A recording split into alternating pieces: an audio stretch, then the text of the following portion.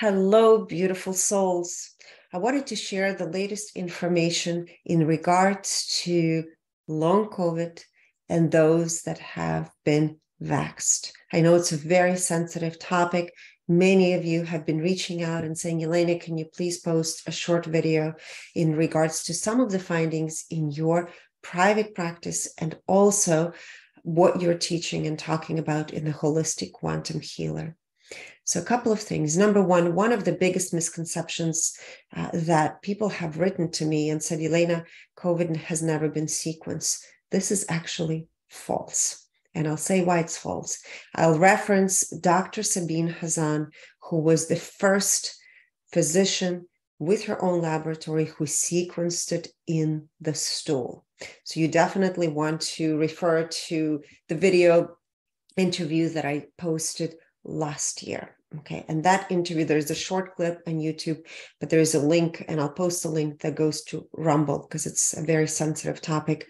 So it's there. So this is the biggest misconception and also misinformation that is circulating around the globe that there's this has never been sequenced. Okay. So false. Now, what are some of the things that I'm finding in my private practice? And this is what I've been sharing with my students and also with all of my clients. Again, if you're suffering from long COVID or you've been vaccinated and you're concerned you're having issues, it's absolutely necessary that you see your own physician or reach out to someone that can help you. So, what are the thing, two things? Number one, your gut microbiome is absolutely 100% linked to the length of the chronic condition that you're suffering with. In this case, we're talking about COVID 19, and also the implications of what happens after the vaccine has been, been administered. And there is a direct link. This is something Dr. Sabine Hazan talks about in the interview, also in her uh, some of her findings, and there's some published data on it already on her website. So I'll be putting the link to that below as well.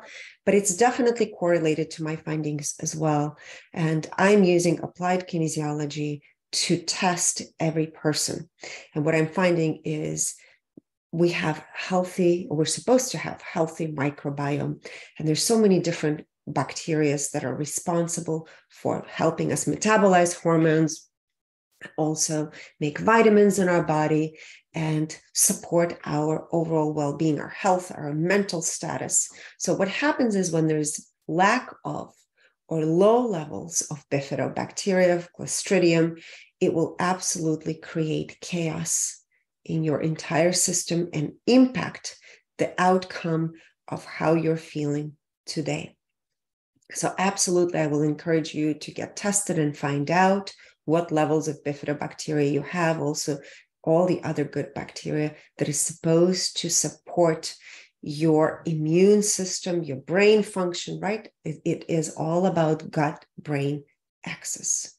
And then there's different things that you can do to rebuild the bifidobacterium. One of them, I'll put a link to one of the probiotics. Again, I cannot give you a list of all the different things that support it just because every single human being is as unique as a fingerprint.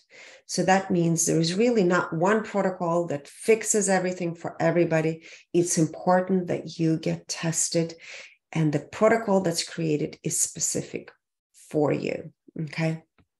Number two, what I'm finding is subfunctioning mitochondria. Mitochondria is the engine of every cell in your body. So it's important that your mitochondria is supported in order for your body to recover. So, first thing we talked about is gut health. Second is mitochondria. I do have protocols that I've been finding really work well.